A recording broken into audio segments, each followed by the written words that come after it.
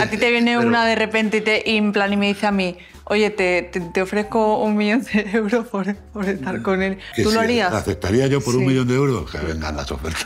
Nuestra economía es a lo mejor dentro de, de la media en España ahora mismo. Entonces al final tenemos que hablar un poco, De, de la media. perdón, bueno, dentro de la- un poquito más de la media, creo yo. Como que un poquito más. Y ha habido muchas veces que, que, eh, verdaderamente no he estado recursos. Yo, por ejemplo, le debo, creo que son ahora unos 600.000 euros a Hacienda. Es como tú, ¿no? Ya le he dado mucho a quien se lo tenía que dar. Que no, que me lo han robado, que no. Pues a ver si, pues si nos enteramos.